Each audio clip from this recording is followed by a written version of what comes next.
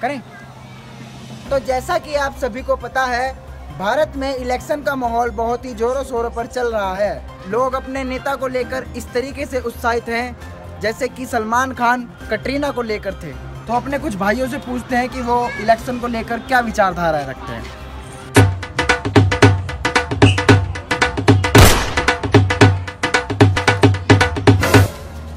तो भाई साहब, जैसे कि भारत में इलेक्शन का माहौल है तो आपको क्या लगता है कि कौन सी सरकार आनी चाहिए कि जिससे आपका सभी सरकारी काम आसानी से हो जाए? भैया जी देखिए सरकार चाहे कोई भी हो पर सरकारी काम तो होने से रहे। पर भैया जी इतना ज़रूर कह सकते हैं कि इलेक्शन चाहे कोई भी जीते गरीब आदमी और चूचे हमेशा दबाए ही जाते हैं।